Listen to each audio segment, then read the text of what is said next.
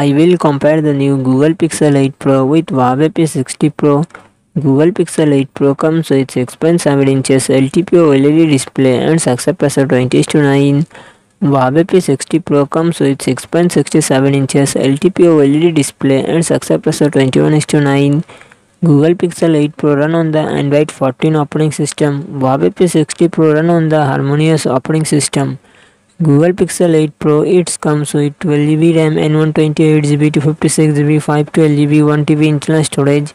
Google Tensor G3 processor and GPU G715S Huawei P60 Pro it comes with 8GB 12GB RAM and 256GB 512GB internal storage Qualcomm Snapdragon 8 Gen 1 processor and GPU Adreno 730 Google Pixel 8 Pro real set triple camera setup 50 MP plus 48 MP plus 48 MP and front camera 10.5 MP